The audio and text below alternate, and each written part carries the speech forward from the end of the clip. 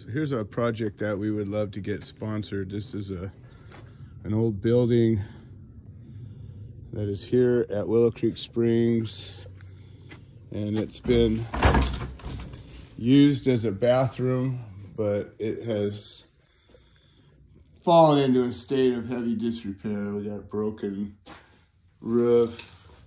Really, this thing needs to be gutted, stripped down, and rebuilt. But it does have water and power in it, and it could definitely become a. Uh,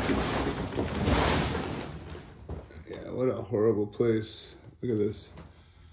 There's actually a well in here. So many things it could be. And we were thinking actually of stripping it down and converting it into a little tiny house and doubling it up, making it go two stories, having a sleeping loft, making a shower, a bathroom, a little sitting area. Anyways, if we could get some support and funding, this would be a great project. Turn this into an incredible piece of the Gardens of Hope. All right, maybe somebody wants to get involved, participate.